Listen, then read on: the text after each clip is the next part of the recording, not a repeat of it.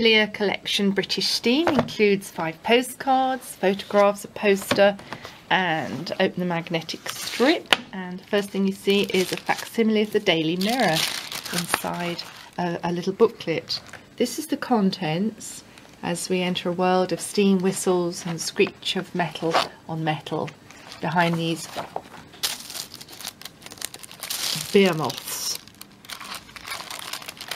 You see facsimile documents inside these wallets, beautifully put together in spiral binding.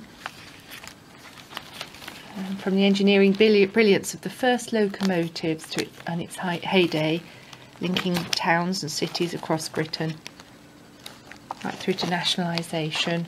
Here's George Stephenson, Robert Stephenson, Isambard Kingdom Brunel, heroic engineer, featuring all of the famous trains like the Windsor Castle. And British Railways posters like this one inside.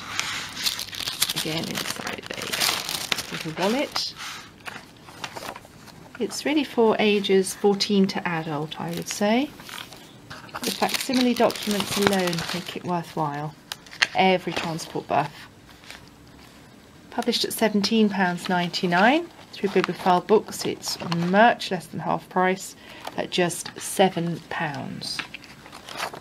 British Steam Memorabilia Collection.